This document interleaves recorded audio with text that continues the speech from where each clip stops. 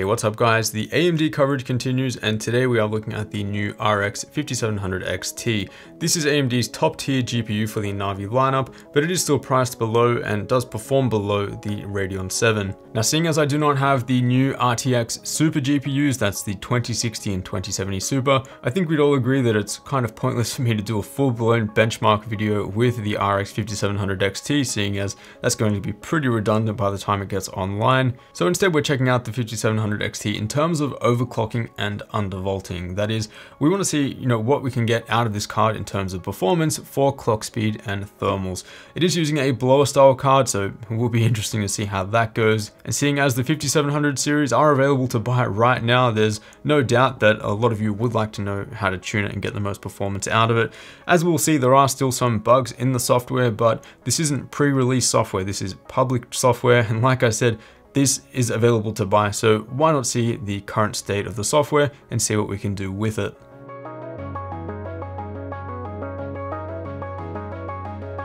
So if you are interested in seeing the gaming performance of the RX 5700 XT versus the RTX 2070 and 2060 Super, I will leave some links down below to some very solid reviews. As I mentioned, I only have the vanilla 2070 to compare here, and that comparison was made pretty much pointless about a week ago.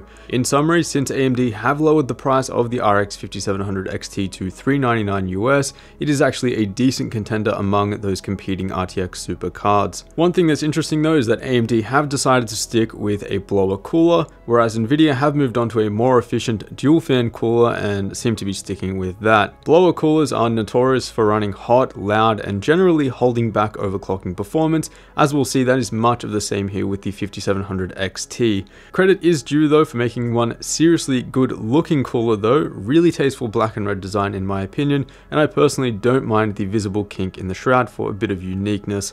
All of the heat exhaust is coming out of the rear of the card next to the I.O. as is normal with blower style coolers, but the heatsink is also exposed on the other end and that seems to be used for intake. Oddly enough, we saw this with the Nvidia 10 series Founders Edition cards as well to a smaller degree. You won't find this also on the RX 5700, that is completely blocked. Still though, this is a blower style cooler and if you were considering this card, you might want to wait for an aftermarket model like the Gaming X or Strix if and when they do arrive. Now the 5700 XT uses an 8 plus 6 pin power connector which does seem a bit overkill for what the board actually consumes. In terms of power consumption out of the box it lands pretty much spot on with the Founders Edition RTX 2070. That also puts it slightly under the stock Vega 56 which is pretty impressive considering the significant difference in gaming performance between them.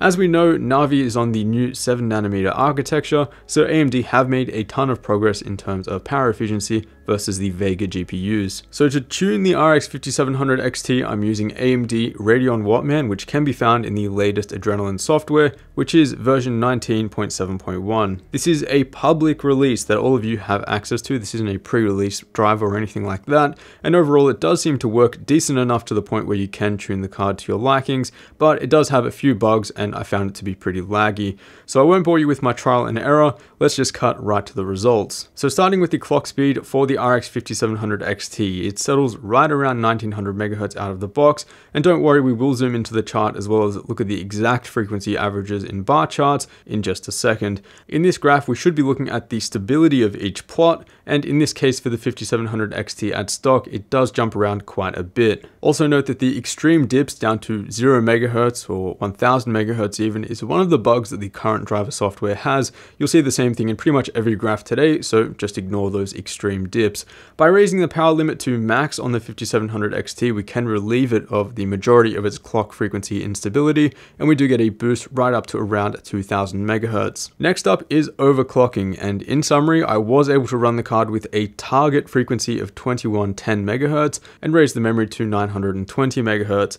The keyword is target here, as no matter what you set for the GPU clock frequency, Radeon GPUs consider that to be the upper limit of their frequency and voltage curve. So we do get a bit of a boost here. This is reflected in gaming as well, but it is pretty sporadic. I was able to undervolt the 5700 XT by setting a target voltage of 1095 millivolts, and when compared to stock, this gives us the stability of what we get from raising the power limit, but with lower thermals. For those unfamiliar with undervolting, all it is is leaving the GPU clock speed the same and lowering the voltage as far as you can while the card remains stable. There's no performance loss, just a reduction in thermals and noise. Here we can see that by reducing the operating voltage of the GPU and removing the power limit though, the GPU is able to boost a bit higher, giving us a higher boost clock even compared to what we get from raising the power limit. Now I said that undervolting generally improves noise levels as well, but in this case, no matter what adjustment I made to the 5700 XT, the noise level stayed identical throughout.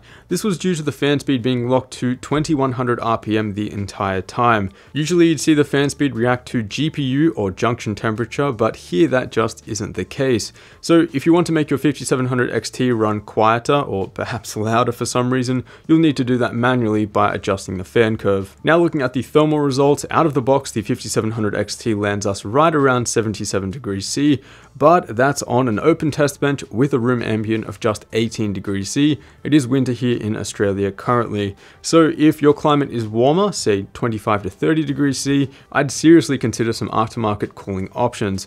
Overclocking the 5700 XT does push the GPU up to 83 degrees C, but thankfully undervolting is effective in running things a bit cooler. Now although this might only seem like a 2 degree reduction from stock, remember that the GPU is also running about 30 MHz higher as well. I will admit though, these aren't the biggest gains that I've seen from undervolting a GPU, but it is slightly better than running the card at stock, really is up to you whether it's worth it. Of course, your particular undervolting and overclocking results will vary depending on your silicon quality. By overclocking the 5700 XT, we see the junction temperature hit 110 degrees C, which as far as we're aware is the point where it will start throttling the clock speed and power, and this could be why we could see some instability in the core clock.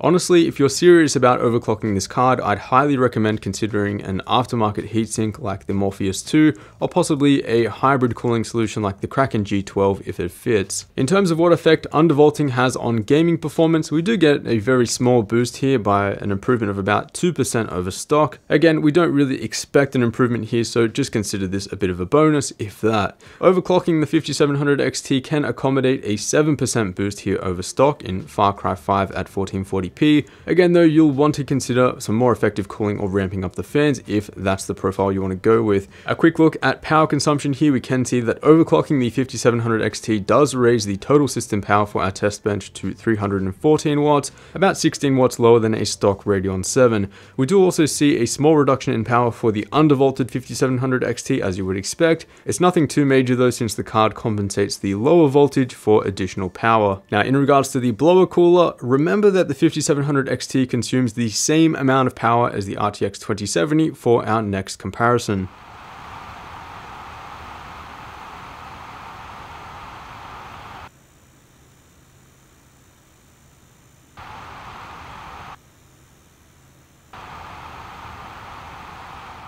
So yeah, the 5700 XT blower cooler is not going to impress anyone, although it might be better than the old Vega reference coolers. It is still worlds behind what Nvidia are currently doing with their Founders Edition coolers for their RTX GPUs. So if perhaps you do have an RX 5700 XT, uh, feel free to play around with the voltage and frequency curve and perhaps uh, see what you can get out of it. Leave your comments down below.